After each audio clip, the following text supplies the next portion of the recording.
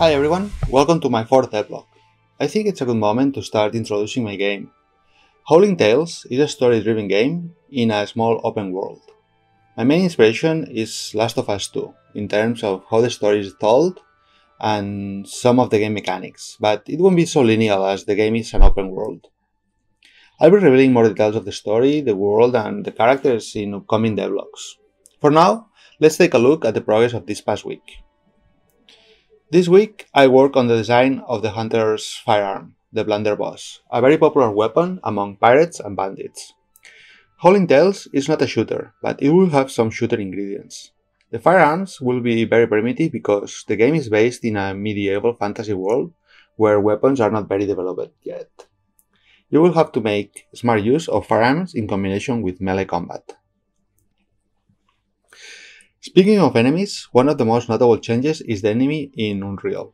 I posted a tutorial about my workflow to import characters from Blender to Unreal.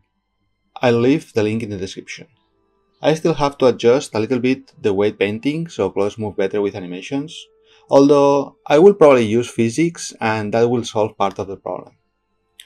For the enemy, I have added the ability to block attacks depending on a variable that I call chance to block.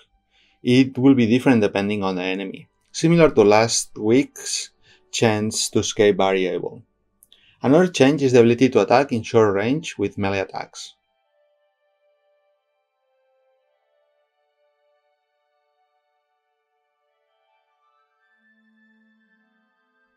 On the other hand, the player now, when he's locking on a target, can strafe both in normal locomotion and blocking. I still have to adjust the camera a bit, but this is the main idea. And that's all this week. If you like this content, don't forget to subscribe and like the video, and ask me anything about game dev and Blender in the comments. I'll be more than happy to help in any way I can. Thank you very much for watching, and have a great day.